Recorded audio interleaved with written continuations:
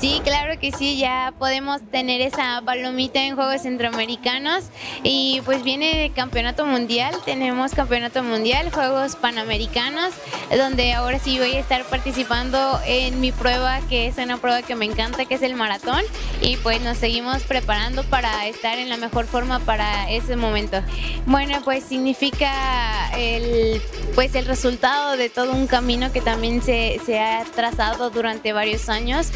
y pues un honor, un honor poder estar aquí, poder portar los colores de una selección nacional y pues responsabilidad porque queremos darle siempre los mejores resultados a México.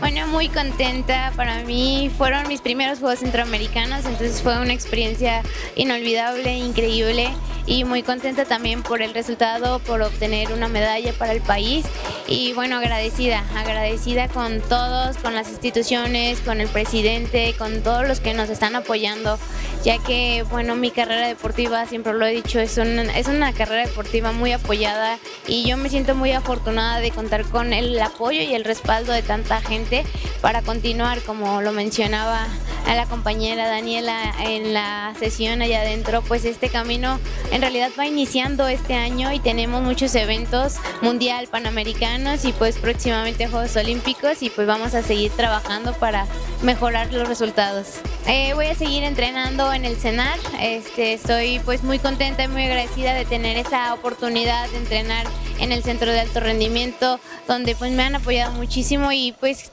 yo creo que es un lugar bastante importante para los atletas, ya que nos permite tener la concentración total para dedicarnos a lo que nos toca, entrenar. Entonces vamos a seguir en el Centro de Alto Rendimiento, en el CENAR, y prepararnos ahorita para todo lo que viene este 2023.